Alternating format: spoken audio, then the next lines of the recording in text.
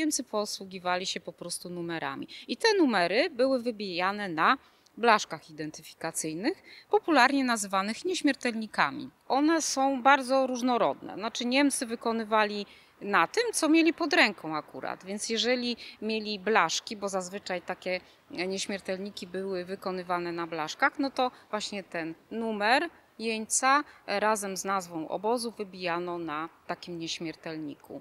Natomiast e, jeżeli tego materiału zabrakło, no to mm, robiono takie nieśmiertelniki no, z tego, co mieli pod ręką. Czyli często jest to kartonik na przykład i tam też jest nazwa obozu, jest numer jeniecki albo po prostu drewienko.